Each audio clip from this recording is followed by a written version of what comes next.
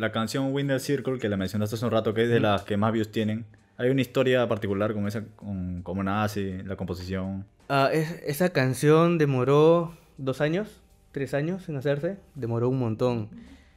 Por ahí más o menos. Y ¿por qué es muy importante para nosotros? Es porque justamente engloba todo lo que nosotros decimos y hacemos. Se dice, I can play your game, you decide my fate. O sea, yo puedo jugar tu juego, tú decides mi destino. Eh, pero yo me voy a poner como un ganador hasta hacer de que esto llueva. Hasta hacer que el dinero como que llueva. Hasta hacer que tu sueño se haga realidad. Y por eso hacemos que... Le decimos a justo a nuestros fans que ellos son parte de nuestro Winner Circle, son nuestra parte de nuestro círculo ganador.